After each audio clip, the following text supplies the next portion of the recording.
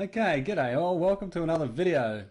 Um, so, first things first, uh, thank you very much to all my Patreon supporters, and we've reached our goal. So, I'll begin a direct 3D video series soon. Uh, that should be really, really cool. Uh, but I did want to go through this video first. Um, the other thing is, if anybody's near Sydney on about July, the 1st, 2nd, and 3rd, I'm going to be performing in the Bundanoon Winterfest. Yeah, so come along if you want to hear some music, eat some food, and uh, just enjoy winter in Sydney. Um, alrighty, so the topic for today is implementing a semaphore. Um, yeah, we've got a fair bit to get through, so let's just get started. Uh, semaphores are a parallel programming primitive. Uh, they were, or they are used to create mutexes and divvy out shared resources. They solve a lot of problems in uh, parallel computing. They were invented by Edsger Dijkstra, who was really one of the biggest names in computer science and one of the biggest champions ever, in my opinion. Um, alrighty, so today's vid, uh, it's not about how to use a semaphore so much. Uh, what we're talking about mostly today is how to implement one in uh, in assembly and C++ as well. Um, we're in user mode at the moment, so we're not writing an operating system, and that does mean that I'm going to actually be using pretty heavily too um, Windows function calls. Yeah, so this won't help necessarily if you're trying to write uh, a semaphore from scratch for your own operating system, but you know it might give you some pointers. Um, yeah. Um, and a bit of a disclaimer, yeah. Um, only write your own semaphore if if you have to, and um, particularly this semaphore here, I'd hate to think that somebody is using this code in production um, code. Yeah, if somebody uses this semaphore in production code, they're crazy uh, because it's got very little error checking and it's it's fairly limited in scope. Um, yeah, if you're writing an operating system, you know, sure, write your own semaphore, but otherwise, it's generally much safer, a better idea to use whatever semaphores and parallel primitives are provided by your environment. Okay, so the plan for today, well, we're going to go through a bunch of little rules, uh, 14 steps. I don't know why I called them rules.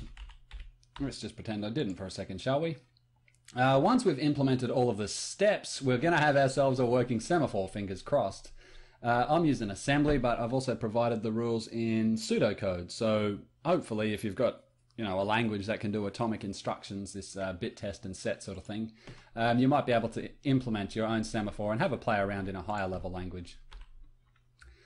Uh, the code so far, okay, so I've pre-coded a bunch of stuff. It just it's 200 lines worth of code, and I didn't want to program it live, so yeah, I pre-coded this stuff. Let's let's have a bit of a look. Uh, the main crux of it is this test barrier just here, but if we come down to main, uh, so there's three files of code here.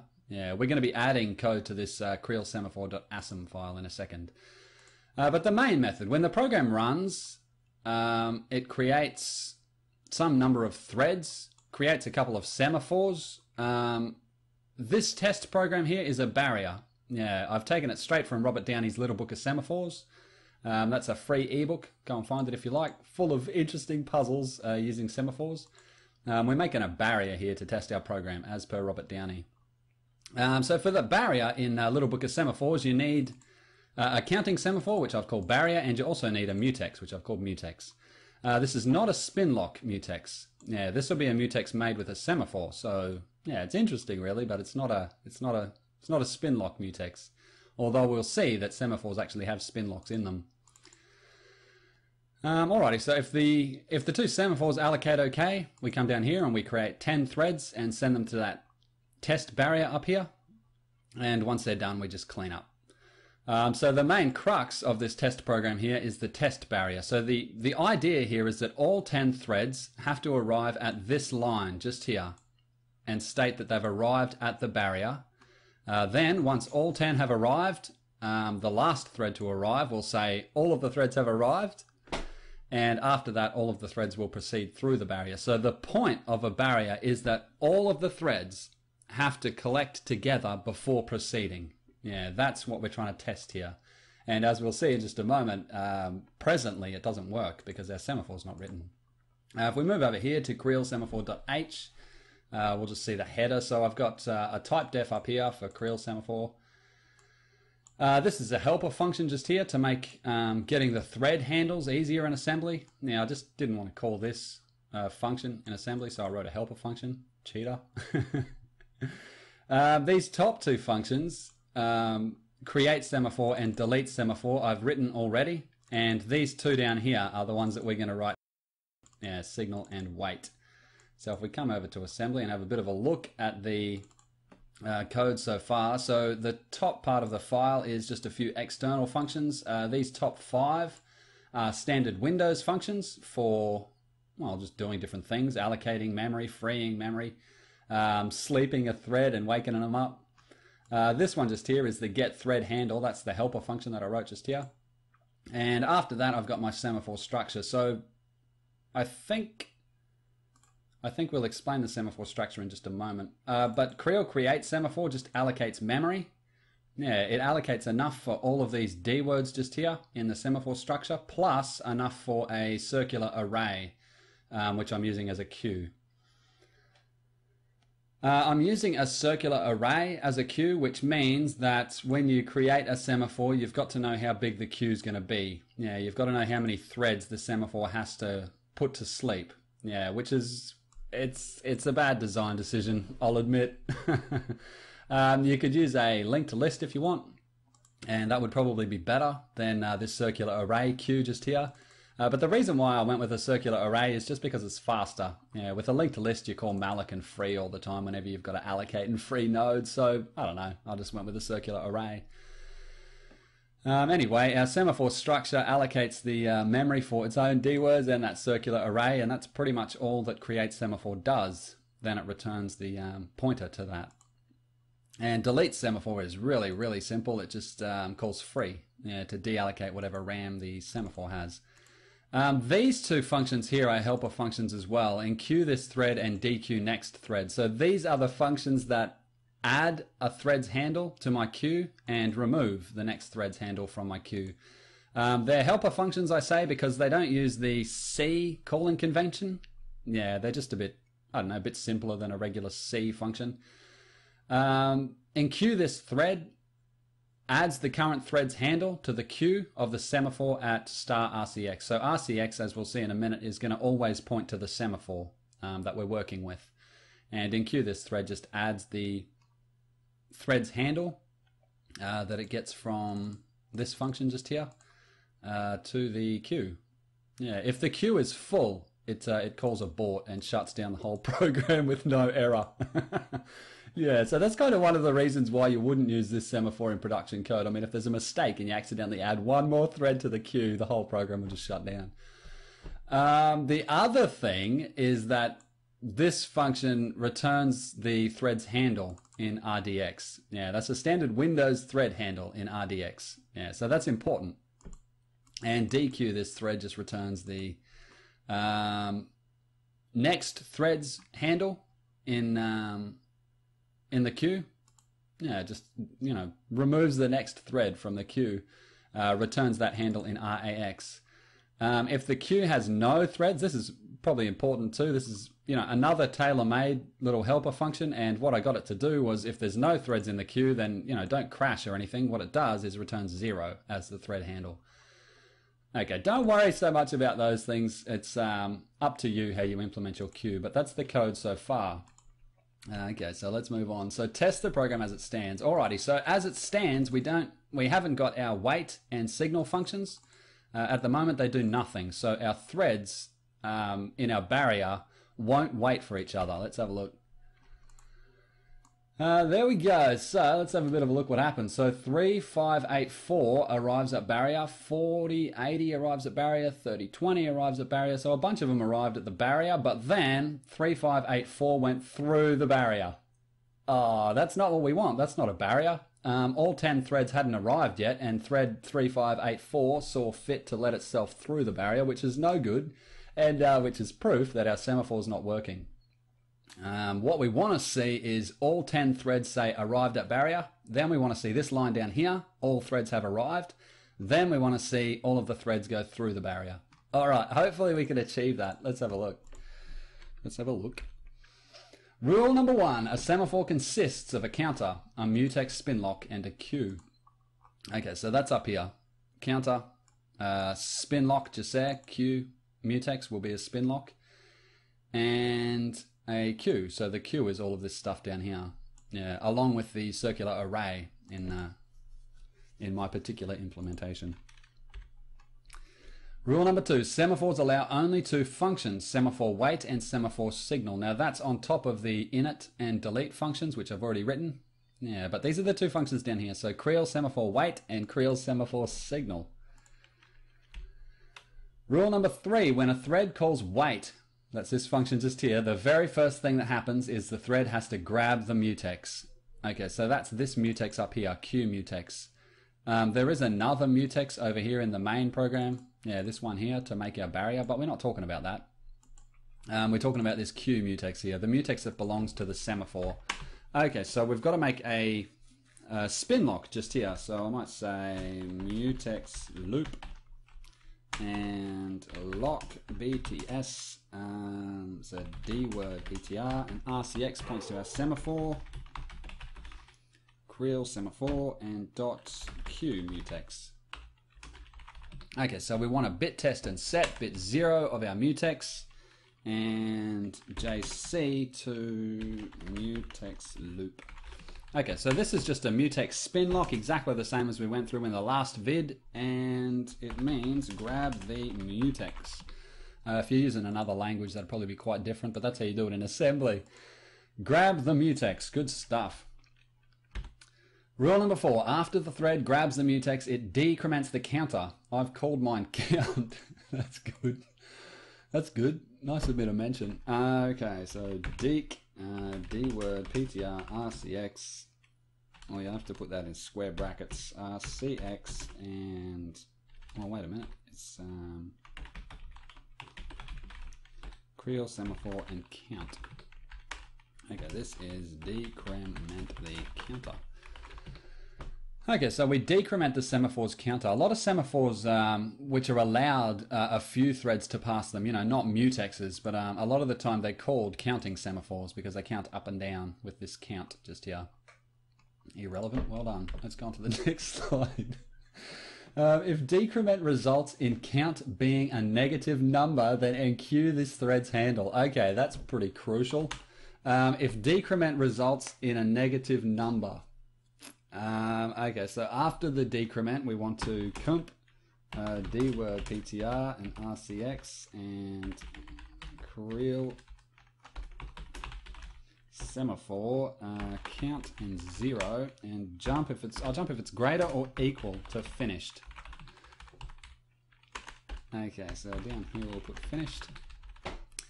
Okay, so right here, this is uh, the count was negative block. Negativum. That's like, um, let's just get on with it. Um, the count, the count was negative and block uh, if the counter was uh, less than zero. Uh, if it was greater than or equal to zero, then the thread's going to come down here to finished and ret at the moment, although I think we've got to do something else before we ret. Anyway, next. Oh, enqueue this thread's handle. Yeah, we forgot to enqueue this thread's handle. Okay, so N Q and Q this thread. Um, okay, so that's this function just here. It's going to add this thread's handle to the queue. Yeah, you notice I didn't make any shadow space or anything. Like I said, it's not the C calling convention. It's just a little helper function. After this thread's handle is added to the queue, release the mutex. Good idea. Okay, so how do you release the mutex? I might just put a release the, release the, release the mutex. So you release the mutex by setting uh, this value just here to zero. So I might just copy that line and mob, release the mutex. Uh, if you're not sure about these mutex lines just here, um, you can have a look at the previous video. Yeah, we went through making a spin lock mutex, and this is it's exactly the same as what we did then.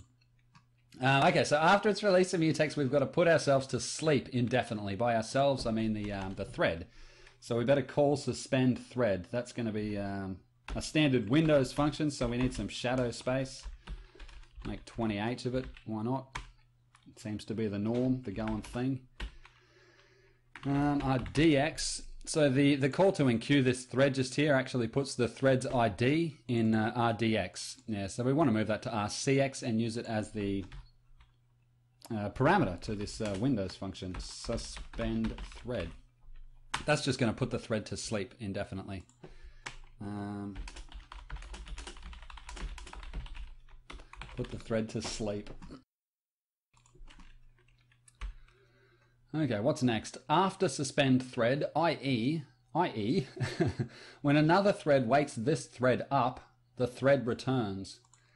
How many times can you put thread in a sentence before it stops making sense? I reckon it's two. anyway, suspend this thread. So uh, once this thread has been woken up by another thread, yeah, so it suspends itself indefinitely, but another thread can wake it up, as we'll see in a moment.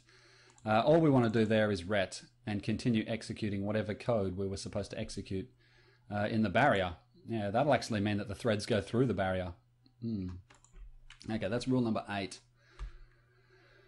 Rule number nine, if at rule five the decrement did not result in a negative number, did not result in a negative number, then this thread should release the mutex and return. Okay, so that's down here at finished. We're working here with um, mutexes and sleeping threads, and I tell you, we're very, very close to causing deadlock all over the place. Um, yeah, that's kind of why semaphores are fiddly. They're very, very fiddly. You've got to try and uh, remember to release your mutexes all the time. So release the mutex and we'll put that down here and finished. And finally, ret. Is that right? Yeah, I think that's right. I think that's right. Actually, I should... Um... Oh, yeah, we got to add RSP20H.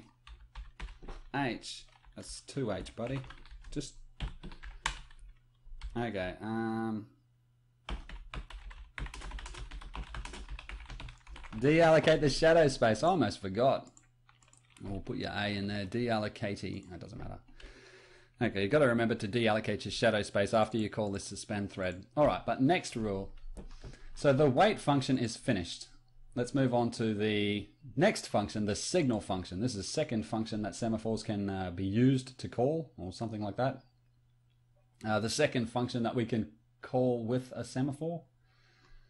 Um, whatever. Um, when the thread calls signal, the first thing that has to happen is uh, we grab the mutex. So once again, we grab the mutex.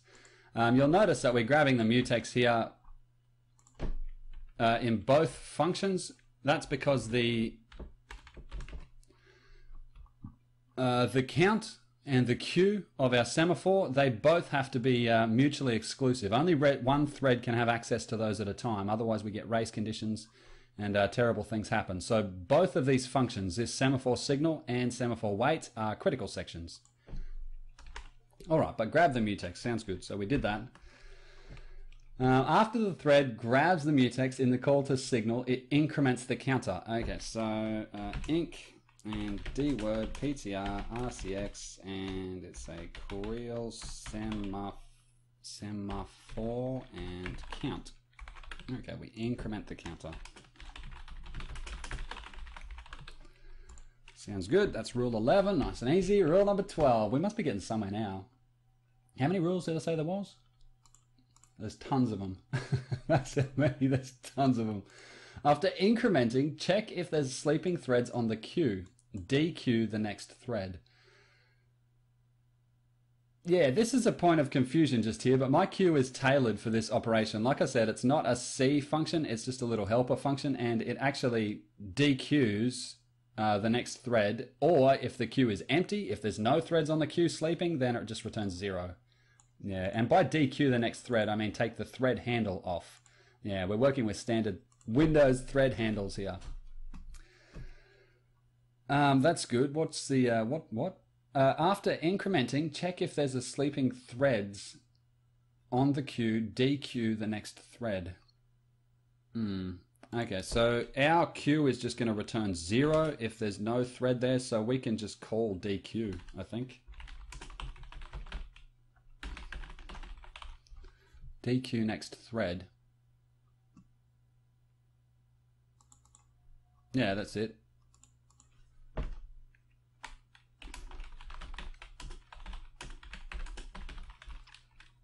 Oh, who put that tab in there? Okay, DQ the next thread. Um, if RAX at that point is zero, so comp RAX and zero, uh, there were no threads to DQ. The queue was empty, so we don't have to wake up a thread, and I might just jump down to no threads to awaken. No threads to awoken. Um, no threads to awaken. Okay, so I might just put a note here. Uh, were there sleeping threads? Um, something like that. DQ the next thread. So handle just here is the supposed handle that the queue returns. So for us, that's going to be RAX. All right. I hope that makes a bit of sense. Doesn't make any sense to me. So good luck. Rule number 13. Okay, so we need to wake up a thread that we just DQ'd, but there's trouble. Uh, there's trouble. If we look up here at the way that the threads put themselves onto the queue and then go to sleep, we'll see that it's not actually atomic. Um, right here is the line that the thread enqueues itself, so it adds itself to the queue, and at that point it's still got the mutex. Yeah, so no other thread can interrupt it. But straight after that, the thread releases the mutex, and it has to because it's about to put itself to sleep. Uh, if the thread goes to sleep with its mutex, then, you know, what are we going to do? it's disaster.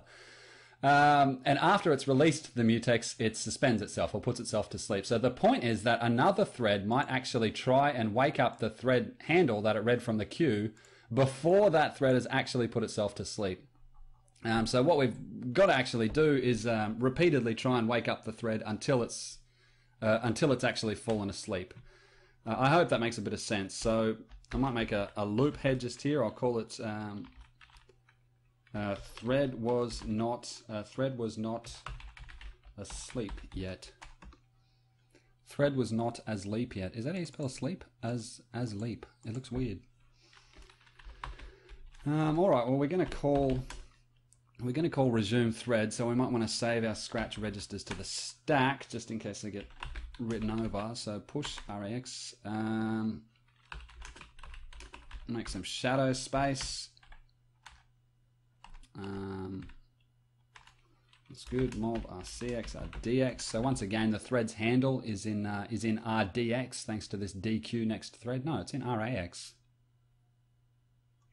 Yeah, it's in RAX. The thread's handle is in RAX. And call resume thread. I probably should have documented those functions first. I mean, it's it's terrible form, but what are you going to do? Um, Add RSP and 20H. Okay, so that's uh, deallocate the shadow space. Once we call resume thread, and hopefully we've woken up a thread, what we need to do is check if the thread actually uh, woke up. So it's it's a quirk of the, of the Windows resume thread function, but it's a very, very cool quirk. Um, the function actually returns the last state of the thread. So we can tell by looking at RAX, which is what this function returns, we can tell if the thread fell asleep or not. Um, but we don't want it in RAX, we want it in some other function because we need to restore our register RAX. I might move it to RDX. Uh, this would be, uh, was the thread asleep? Was the thread, I'll put, I might just put sleeping because asleep looks wrong. Um, that's good. So we might just restore our, what was it, RAX, and restore our RCX from before. And now we better check if we've actually woken up the thread. So comp rdx and zero. Um, was the thread asleep? So if if rdx is zero, uh, you can have a look at online the documentation for the resume thread function. But if rdx was zero, then the thread wasn't asleep, and we actually have to try and wake it up again. So I'll jump up here.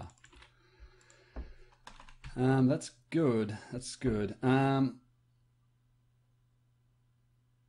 otherwise, if the thread was woken up successfully by this call to resume thread just here, then we can fall through to no threads to awaken. And I think the next should be that. Here we go. We need to wake up the thread we just DQ'd.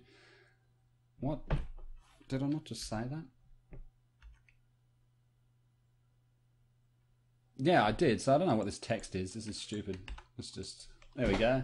Um, the final thing that we have to do is uh, release the mutex and return. And hopefully at that point we're done.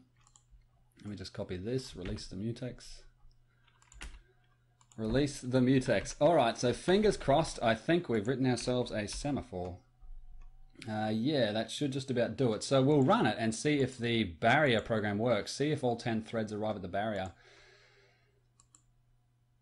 Oh, invalid character in file. Oh yeah, that's a comment. You weren't meant to read that, compiler. Uh, okay, so there we go. Let's have a bit of a look. So arrives at barrier. That's one, two, three, four, five, six, seven, eight, nine, ten threads arrive at the barrier, and then one of them says all threads have arrived, and then they all go through the barrier.